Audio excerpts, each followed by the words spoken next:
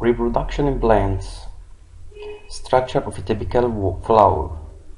Typical flower consists of four whorls: calyx, corolla, androecium, gynoecium. Number one is calyx. It is the outer whorl. Its leaves are called sepals, green in color, and its function is to protect the inner part of the flower.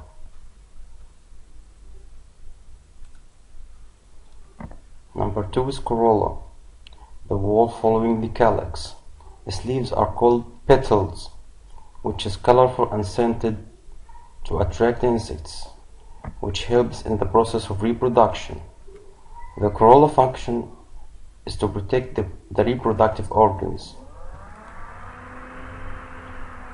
Number three is androecium, the whorl following the corolla. Its leaves are called stamens. Androecium. The stamen consists of a fine filament ending by a sac known as the anther, which is divided into two, two parts, each of which has two chambers containing pollen grains.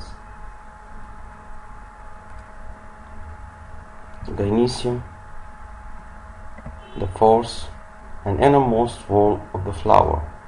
Its leaves are called carpels, which resembles a flask in shape and is formed of bulge known as ovary connected to a tube called the style, which has an opening called stigma. The ovary contains the ova,